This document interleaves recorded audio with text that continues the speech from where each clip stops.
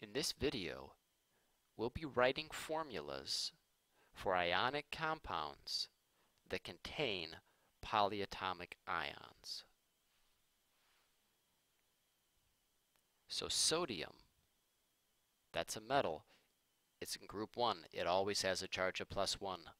Hydroxide is not an element on your periodic table. In fact, it's a polyatomic ion located on the back of your periodic table, and it has a charge of minus 1. So we need one sodium to balance out one hydroxide. So the formula should just be NaOH, one sodium, one hydroxide. Now lithium always has a charge of plus 1. Carbonate, again, is a polyatomic ion on the back of your periodic table and has a charge of minus 2. So if carbonate has a charge of minus 2, how many lithiums will we need? Well, just use the zigzag method. We'll need two lithiums.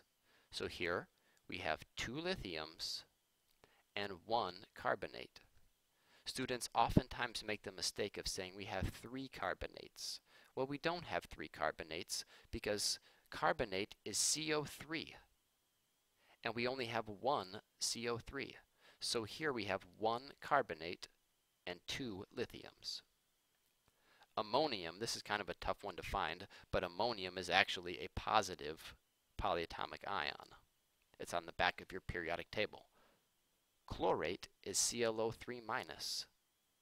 So we need one ammonium and one chlorate. So when you write the formula, it's NH4 ClO3.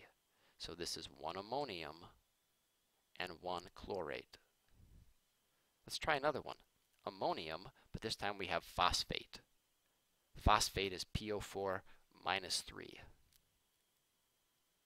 So how many ammoniums will we need? Well, just use the zigzag method. So we're going to take this 3 and we're going to bring it down here behind the 4.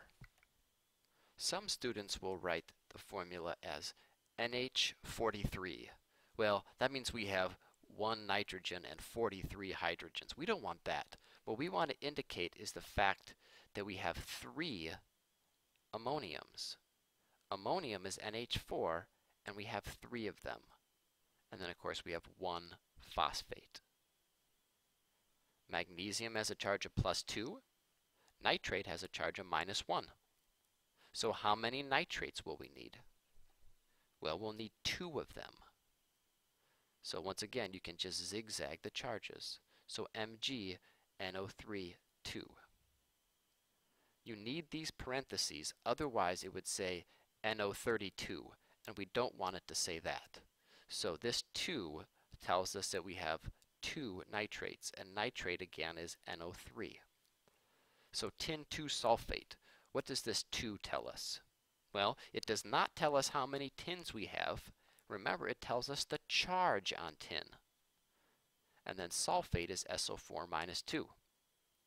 So these 2's will cancel because remember that an ionic compound, the formula represents a ratio. So 2 to 2 is the same thing as 1 to 1. So we have 1 tin and 1 sulfate. Vanadium 4 sulfate. So vanadium has a charge of plus 4. Sulfate has a charge of minus 2. So we can reduce the 4 and the 2 down to a 2 and a 1. And then we'll zigzag the charges. So we have one vanadium and two sulfates.